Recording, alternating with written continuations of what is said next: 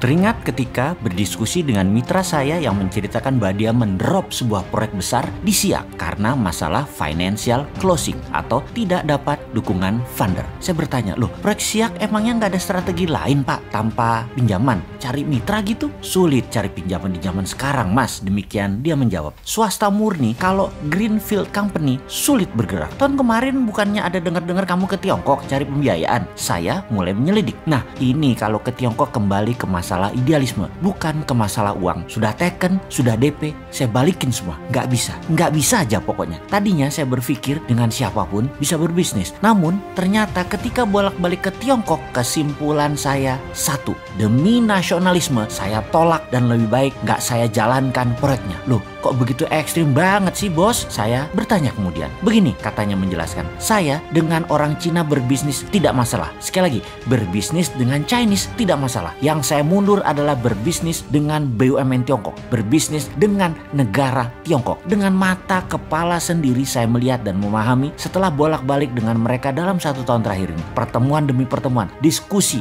dan menyaksikan sendiri apa dan siapa mereka. Tiongkok itu membagi dua secara global bisnisnya. Dalam negeri, swasta yang mengelola, yang bermain kira-kira 80%. Luar negeri, BUMN Tiongkok yang bermain hampir 90%-nya. Pemerintah dukung dana, dukung fasilitas lainnya ke BUMN Tiongkok untuk menggarap luar negeri. Dengan 1,5 miliar manusia di Tiongkok, mereka memerlukan pangan dan kerja buat penduduknya. Tiongkok membuat grand strategi dan policy. China is not a country. China is civilization. China itu bukan negara, tetapi komunitas. Diaspora Cina menguasai seluruh jagat raya. 2-5% di sebuah negara pasti diaspora Cina berada di sana. Dan bagi mereka, yaitu Tiongkok, melihat mereka semua itu adalah satu civilization yang bisa dimanfaatkan akar budayanya. Lalu saya perhatikan, semua yang kerja di luar Tiongkok, BUMN Cina, semua muda-muda masih single paling tua, tidak lebih 35 tahun. Target mereka jelas karena terucap oleh pemimpin mereka. Mereka itu akan dijadikan diaspora, nggak usah pulang kalau perlu. Single, kawin dengan penduduk lokal, baik Cina diaspora atau pribumi lokal, nggak masalah. Lebih murah bagi mereka orang-orang itu tidak pulang ke Tiongkok. Targetnya seluruh dunia, setiap negaranya akan dinaikkan diaspora Cinanya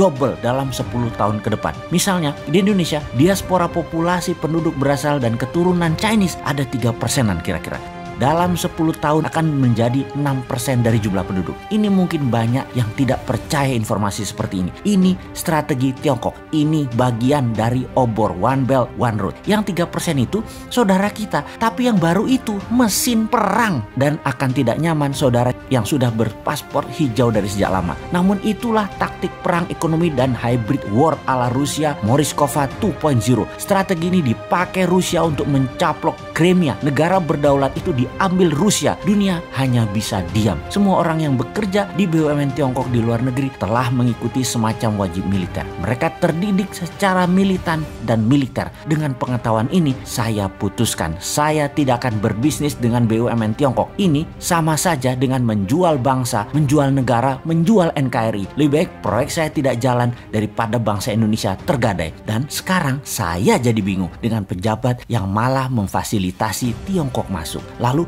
BUMN Indonesia dengan BUMN Tiongkok bekerja sama. Diaspora tadinya sebentar lagi jadi ancaman nasional. Ini soft threat. Banyak yang terbuai uang, terbuai proyek, namun menggadaikan kedaulatan bangsa. Saya miris dengan ini semua. Dia melanjutkan monolognya. Saya berharap ini semua karena by accident dalam tanda petik. Karena alfa, karena lupa, karena pejabatnya lupa, karena ketidaktahuan pejabat. Namun kalau ini by accident dengan sengaja melakukan Cinanisasi, memasukkan diaspora Cina baru akan mengikuti juga pastinya yaitu faham yang berbeda dengan Pancasila, faham komunisme. Menurut saya rakyat rasa tidak akan diam nih